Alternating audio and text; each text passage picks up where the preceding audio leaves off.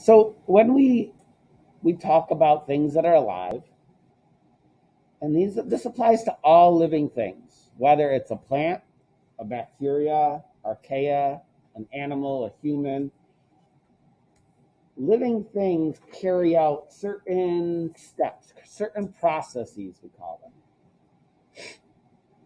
And all living things do these. All living things need nutrition and they transport materials. They have respiration, excretion, synthesis, regulation, growth, and reproduction. We'll talk about each one in turn, and we're going to talk about these more as we go talk about different parts of the cell, different parts of an organism, of a human. So we'll kind of be revisiting things. This is giving us just kind of a background so we understand what some of these terms mean. And a lot of these are going to be reviewed. So these are processes that living things carry out. Um, and all of these functions are required for the what we call homeostasis. This is a really important word. And I know you've heard it before, homeostasis. So like what does it mean? You learned it in 7th grade. Do you know what homeostasis means? It's kind of a big word. It really you could think of it Kaya, go ahead. Um, I mean, plant all living things. It's it's related to all living things, really. Homeostasis is keeping stable internal conditions, keeping a balance. So it's a term that you really need to know because, like, you'll be asked sometimes on the Regents exam about homeostasis or how different organs in your body help maintain homeostasis.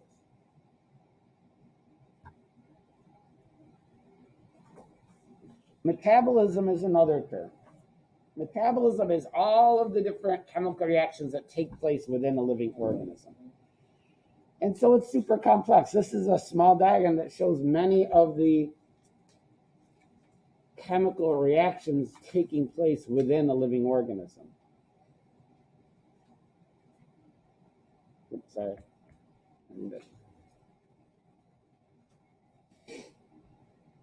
And so these life functions we're talking about, they're important for maintaining homeostasis and for metabolism. So let's talk about nutrition. We already used these terms.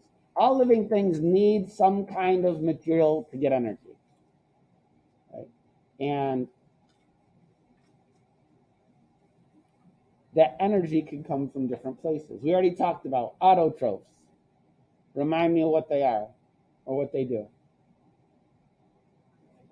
Make their own food. They have to use light. Is there an autotroph you can see in this room? Right there. This plant, we'll talk more about photosynthesis. When light hits these leaves, it's going to be making glucose. You can't do that. You have to eat, you have to drink a Mountain Dew watermelon or whatever that was. Nasty. Yes. And you're going to get a ton of glucose through drinking that. You need to consume things to get energy, to get glucose. These plants don't. They just make it on their own using carbon dioxide from the atmosphere and water from the soil and sunlight. Plants can do it, some algae can do it, some bacteria can do it, some protists. You are heterotrophs. You have to get your food. There's all our, pro, our autotrophs. You have to eat things.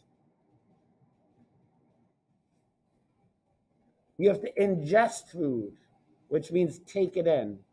Then you have to digest the food, which means break it up into small pieces. And then anything that's not used has to be egested, removed from the body. So heterotrophs include humans, all animals, also the bacteria, fungi, some produce. They're all heterotrophs. They have to find stuff to eat. That's how they're going to get energy.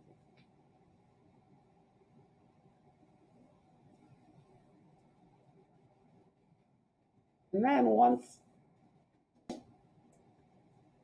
materials are obtained, they have to be transported.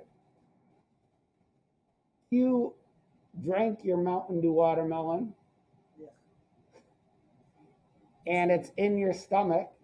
Well, somehow the sugar and the nutrients, whatever nutrients might happen to be in there, need to get to the rest of the parts of your body, right? They need to get to your brain so you can think about your science notes. They need to get to the muscles in your legs so you can walk home after school.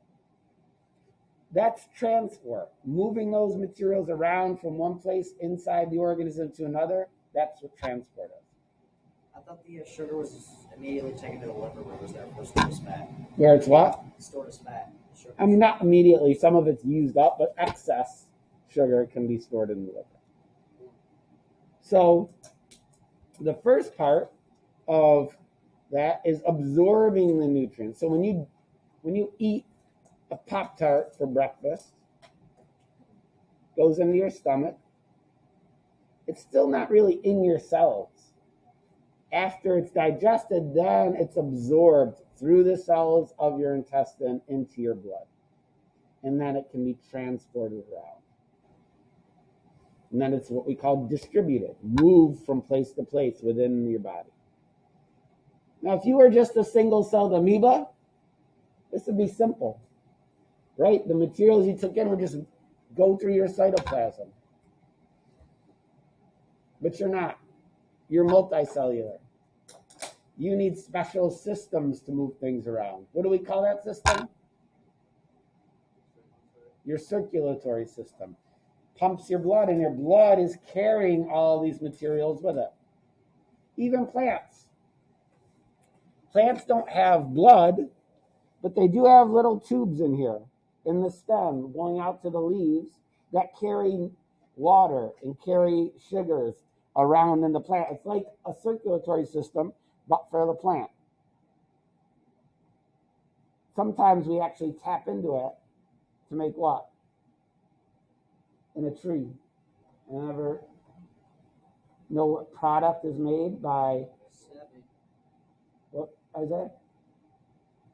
Maple syrup, right? Sap. If you tap a tree, you sort of hammer a little metal piece into it as the sap's flowing, which has lots of sugar in it. You collect it in a bucket, you boil it away, and you make maple maple syrup.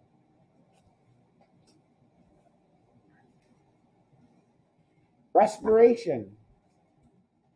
Respiration is really important. It's what actually takes the sugar that Cade gets drinking his watermelon Mountain Dew Again,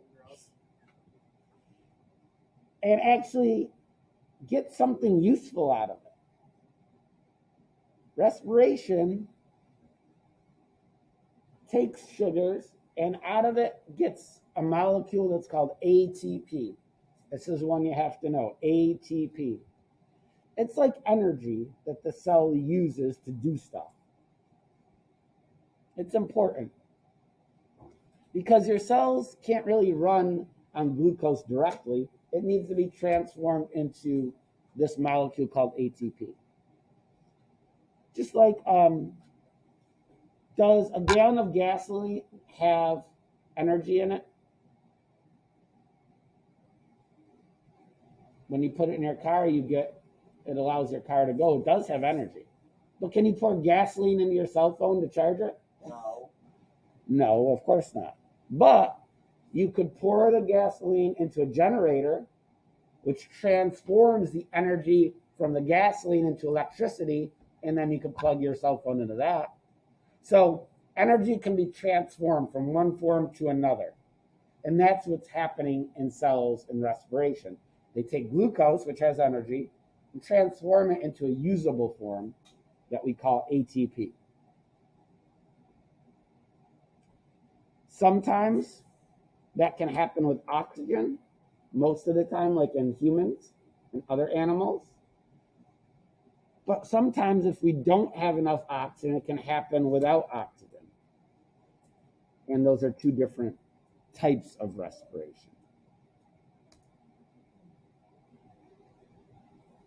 Excretion. What does that word mean? And remember from excrete, get rid of waste. Yep. It's removing the waste products that are produced when our body's using energy and doing its job.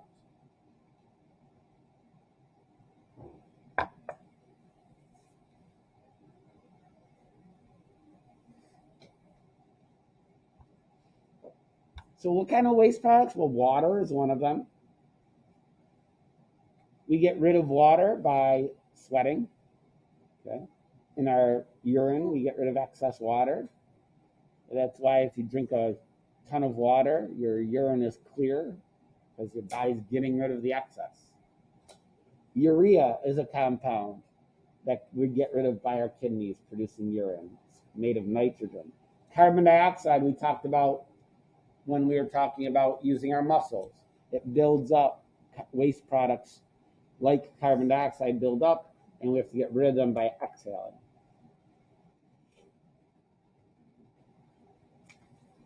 Many parts of our living things are made of large, complex molecules. And to build those molecules, we have the process of synthesis. Synthesis takes small, simple molecules and puts them together to make larger molecules.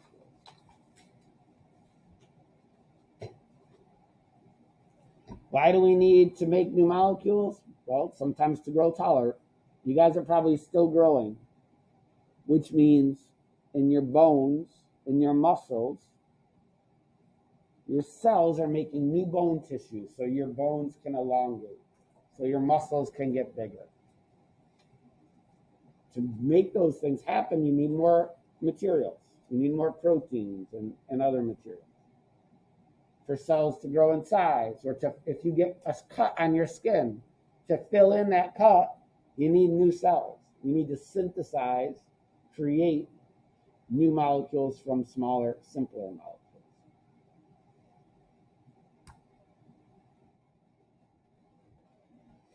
Another very important life function is regulation, which helps to coordinate, helps to control our life activities, helps to maintain homeostasis.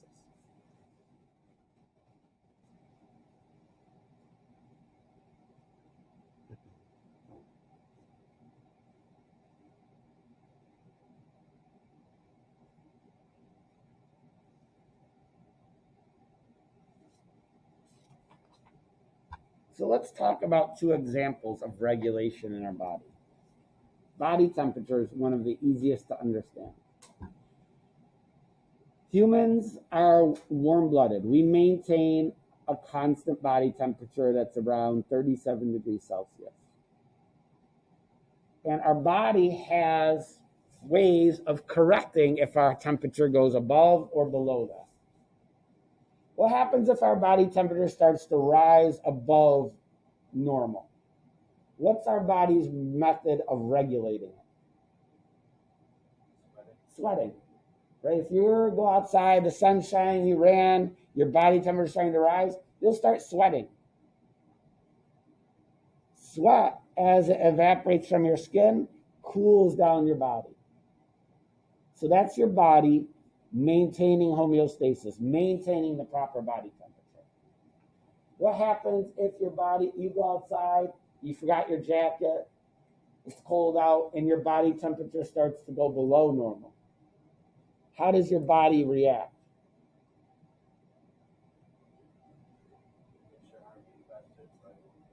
Your heart beat faster.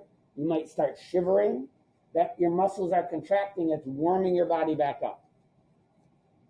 You even have like behavioral things. Like imagine in the middle of the summer, you don't have any air conditioning in your bedroom that's up on the third floor of your house, and it's super hot. You probably don't think about it, but what body position do you take when you're sleeping? Like, if you imagine sleeping under those conditions, what would you be like? You just be like spread out completely, right? Because what you're really doing, even though you're not thinking about it, you're like maximizing the area where heat can escape from your body. How about this morning? right? Your family refre- refuses to turn on the heat. It's too early. We're not turning it on until November. And your house is freezing. And all you have on your bed is a thin little blanket. How would you sleep in those conditions? You're like all cut, right? You're like freezing cold. You're keeping all of your body heat in so that you don't lose much. That's an example of like behavioral things that you don't think about, but really that's your body trying to keep the right temperature. So it's more of a just on its own thing. It just happens, right? It's just you don't think about it, but that's why you, you It's do it. Yes. Let's talk about this example on the left. I'm not. Let's, this is about blood sugar. Does anybody know anything about blood sugar? Anyone know people that have diabetes? Yep. Okay, so when a person, depending on the type of diabetes, this is um, a an issue with um, how our body regulates our blood sugar. So let's say Cade drank his giant watermelon Mountain Dew.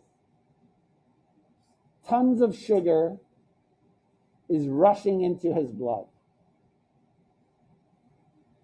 Okay, too much sugar in your blood can be bad. It can damage nerves. Um, but luckily, most individuals can regulate our blood sugar. You know what your body does in that situation?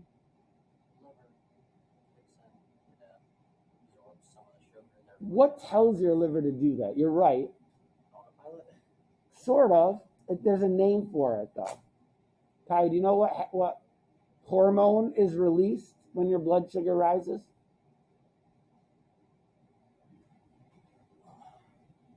It's called insulin. Have you heard of insulin? So if you have once you eat a meal or drink a sugary drink, your blood sugar rises. Your your pancreas releases insulin. That's a signal. It tells your cells, "Hey, too much sugar in your blood. You need to get rid of it." And so it sends that signal using this hormone insulin, and your liver takes it in, and your blood sugar drops down. There's a different hormone that does the opposite. Let's say you don't eat for a long time, and your blood sugar is dropping, and you're getting lightheaded. Your body will recognize that and produces another hormone that says, "Hey, our blood sugar is too low. We need some," and it sends a message to your liver, which releases sugar into your blood. And that process of balancing our blood sugar by our body, that's homeostasis. That's regulation of our um, internal conditions to keep us healthy.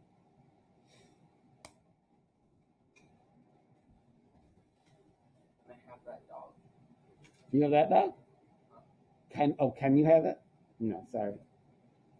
Um, growth. Living things grow. They can grow in the number of cells they have, or even in the size of the cells. Okay?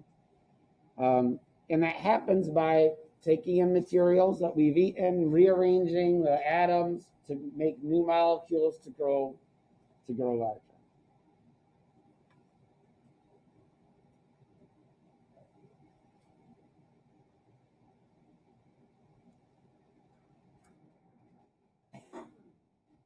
And then finally, our last life function is reproduction.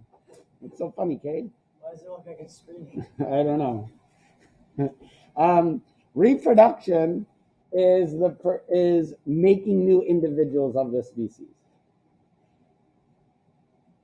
So, in some organisms, it's just a cell splitting in two, like bacteria or protists. They just simply split in two.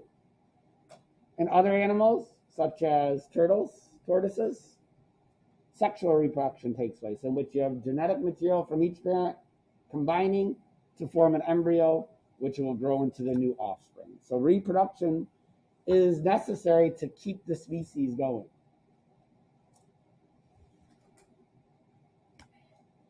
All right, so those are the basic life functions.